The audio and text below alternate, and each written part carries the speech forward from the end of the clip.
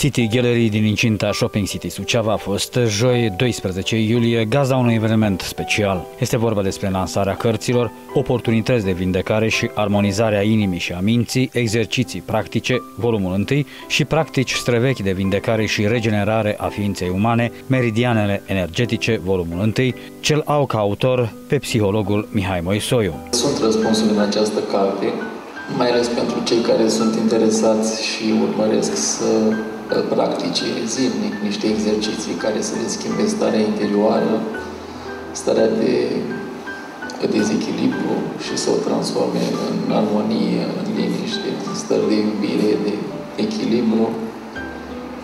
Totul este posibil pentru cei care doresc să se transforme la nivel de stil de viață și care se angrenează într-o practică cât de cât riguroasă sau încearcă măcar. Este dificil pentru cei care vor doar să citească o carte sau să meargă la un cabinet de psihologie sau de terapie alternative să ajungă la un rezultat. Foarte mulți vin uh, și vor o schimbare în urma unei ședințe, a două ședințe, vor niște tratamente naturiste care să-i transforme. Cred că este ceva imposibil, mai mult așa o amăgire. Rezultatele apar atunci când cineva își transformă stilul de viață radical.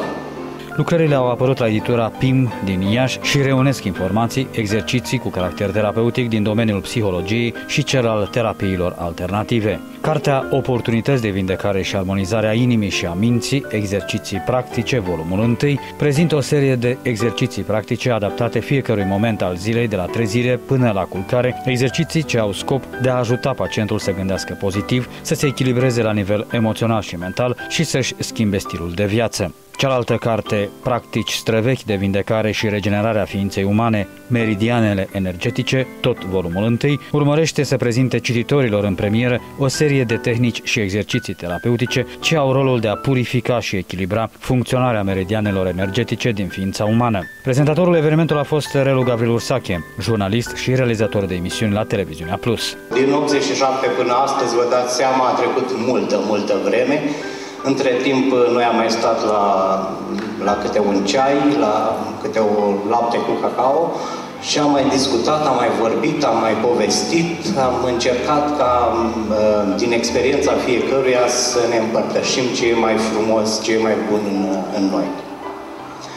Până am ajuns la frumoasele cărți ale lui, ale lui Mihai Moisoiu, uh, vreau să vă spun că a prezentat cartea lui Mihai Moisoiu astăzi aici e o sarcină destul de grea pentru mine, Asta pentru că în urmă cu două săptămâni, tot aici, uh, a venit uh, cunoscuta Gigi Ghinea, unde a lansat o carte deosebită. Nu am reușit să ajung la lansarea ei, am citit în schimb cartea, am citit uh, criticile de carte, dacă putem vorbi de critici, am citit mai mult impresii bune, am vorbit cu Liviu Clement de la Trai Nou câte ceva despre câteva impresii, am împărtășit cu el despre cartea lui Gigi Ghinea, și revenind la cartea lui Mihai Moisoiu, uh, e cam pe aceeași undă de continuitate cu uh, cartea arhicunoscutei uh, Gigi Ghinea.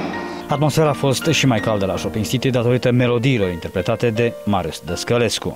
Parcă văd marea de smara înspumată Când noi doi ne-am plimbat pe țări prima dată. Valuri mistele mi scripeau într-un joc fără sfârșit și iubirii